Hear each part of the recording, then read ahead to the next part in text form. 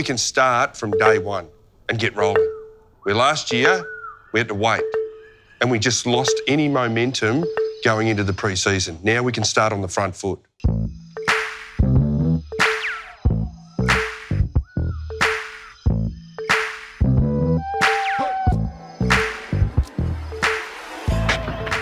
How many laps have you guys done? Done five. How, uh, Seven to go. 400s. 12 400s. Yeah. Two. One. Better than 3K. Always a nervous day, the first day, no matter how many pre-seasons you've done.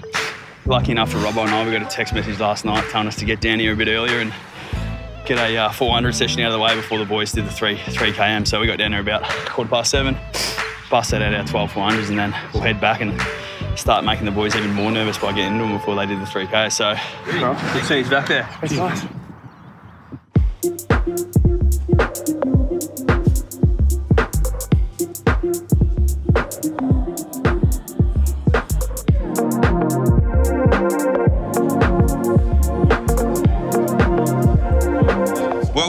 Uh, fantastic to have everyone back. Got all the group together, which is outstanding. To go through a trade period and land five very, very good players.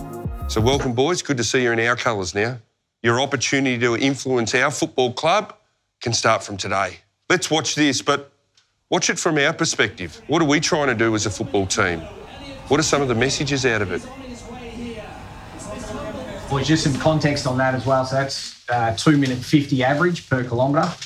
That's it's the equivalent of doing about an eight minute thirty three k uh, this morning, but holding it holding it for forty two k's obviously. So it's quite extraordinary. But it was always considered a human wasn't going to be able to run under two hours for a, a marathon for forty two k. So uh, it's a pretty impressive effort. What was some of the messages you got from that, mate? Couldn't do it by himself. No, he couldn't do it by himself. Exactly right. Took everyone to get him through. Ev- Everyone played their role. And the AFL season is a marathon. But his preparation got him to where he wanted to get to. So that's the AFL season. We've got a big road in front of us, a lot of hard work, and a lot of opportunity for us. And we're going to grow here. We're going to do it all together. But culturally, here, we're going to change. And we're going to keep pushing the limits in our skill, our connection, those things that we need to get right to help our co- culture going forward. And today it all starts. All right? So we're going to go out, do the 3K. Some boys will go and do Sandy. Lady will go through the training and what we have to do. But today is a day that we'll look back on and say, this is when our journey started together. Me as the coach, the group here, and then we'll say, shit, this is when we started to make huge inroads as a footy club.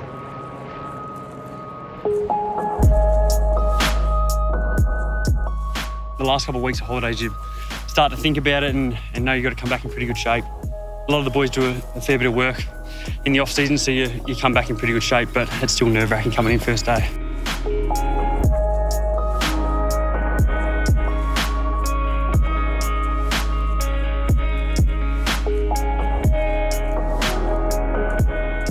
Lot of the boys know um, each other's times and what you got to get, so you'll normally pair up with someone or, or pick someone that's going to run uh, a little bit better than you and normally go with them. Yeah, Mayo. Keep your face relaxed, big fella. 922. Dig in, prospect. Yeah, Clough. Yes. 926. Last lap. Whatever you got, big fella. Come on. Yeah, Patsy. 10 4. 10 5. 10 6. Yeah, boys. Yeah, Johnny. Go, Jimmy. Yeah, Webby. Finish it, go. To hear the numbers that came out of the run was outstanding across the board. You know, Gresh, where are you? Broke your broke your best. Longy the same. You know, the bit that I loved was you took courage to go out and you tried to break the field. And, you know, you were hanging in there, your ass was touching the ground, mate, and you broke 10 minutes. But that courage to go out by Dolts to try and lead the way and go is outstanding. So across the board, big tick. And now we can start getting into the footy stuff because we've got a healthy list and we're going the right way. So well done, boys. Fantastic. I suppose there's a little bit of uh, a little bit of nervousness, um, a lot of excitement. Boys that are going through the, you know, the recovery with injuries and rehab uh, are, are trending the right way. You're not going to nail everything, but you just think to yourself as you're driving in, I hope this is going the way we want and, um, you know, everything sort of goes to plan and we keep just moving forward. And I suppose today, after seeing the, the running results, I think that just puts us in a good space now to really move forward in the football program. So I sort of noticed when I got to the club, and no, through no fault of the, anyone's at the clubs, there's only been one premiership there in 145 plus years. So there's not there's not premiership players and resources in the corridors like there is at other clubs.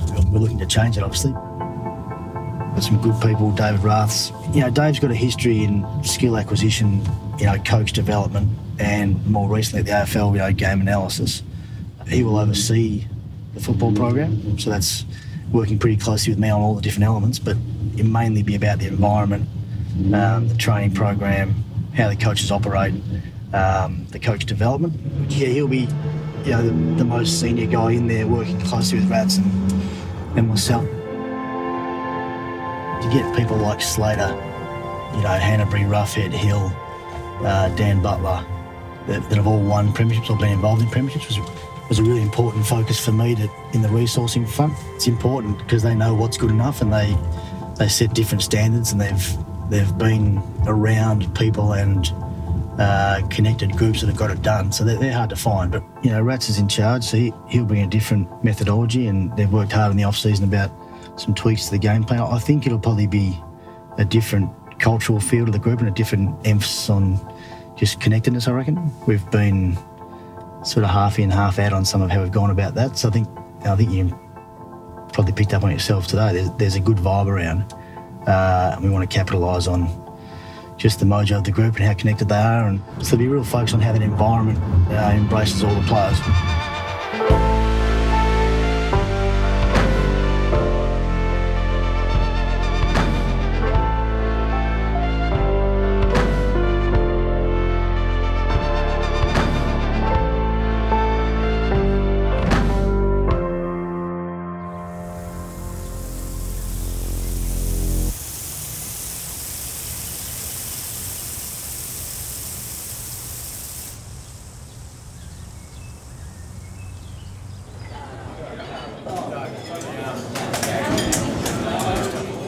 First and foremost, we look at fueling foods um, and then building foods. So fuel being your carbohydrates and then building being your proteins. Um, we've got the boosting foods being all their veggies. We try and coach them to have at least three different colours on their plate from a vegetable perspective. And then you've got your healthy fats to try and you know, help their joints and heal and repair. There are fussy eaters, but we work with them.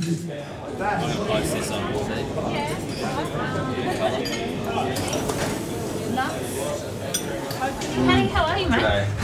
Want to get your skinnies done? Get skinnies yeah, I'm just getting Luke's done at the moment. Yeah, that's fine. You can enter the data in for me if you want. If he, but if you don't want oh, to... He's pretty lean anyway. He doesn't look like You don't need to cheat for me. What? yeah, I don't have to take a couple of numbers off. Yeah, Steely trying to get me to take numbers. I'm like, mate. so we do a sum of seven skin folds, which means that we capture the data from seven sites on Luke's physique. And we add those seven sites up, and that gives us our sum of seven skin folds. And we compare the results longitudinally over time um, to get an indication of how um, Luke's uh, physique is changing in relation to his training load. 2.4. This is what we've got to worry about, these two here. The money makers. A few Bintangs and Peronis in there. 6.0. 8.5. I'm sure you're struggling. This pre-season's been great though. The boys have really learnt uh, around fueling for their training load, and that's a key message that we run um, and educate the boys with. So over the off season, they're trending not to need to train as much, or they're not training as heavily, so they don't need to consume as much fuel. And what's pleasing to see is that overall our results are fantastic coming back, which means that they're listening to that message and they're inherently, um, you know, putting that into practice. Yes, 3.2, and then abdominals for that. Yeah. Uh, this off season I've been pretty pretty good. Um, coming into the club, they've sort of said we don't want you to come in like stressing too much. Just come in, get rolling, and then um, we'll build you up and get you going in due in due course. To see players develop. Um, you know, trying to push the limits of their game. Like, we're, we're here to really just facilitate. You know, we're like a TAFE, really.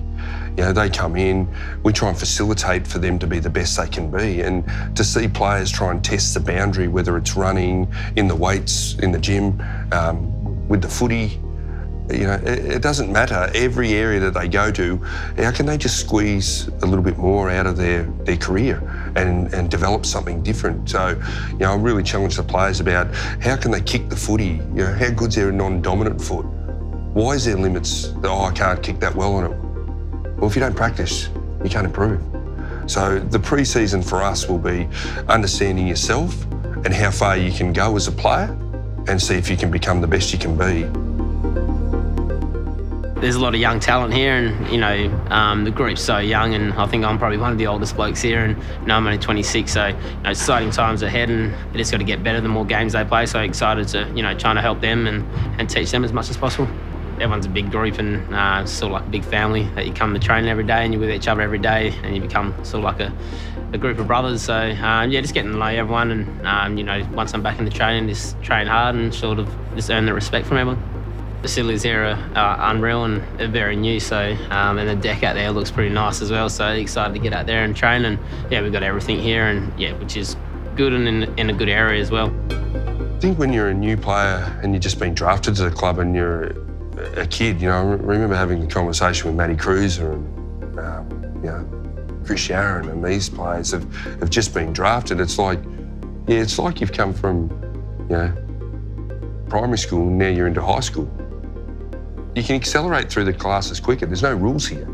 You might be in, say, year seven because it's your first year, but you can be in year 12 by the end of the year and playing really good football. There's no rules to this. It's what maybe the self-belief that they have, can they do it? But I just think we've got to just see how far they can go. The history here is, uh, you know, with Lockett and Harvey and you know, Trevor Barker and Danny Frawley, the great St Kilda people here. Um, yeah, it's great for us to be back, as you said, really to this is where our heartland is.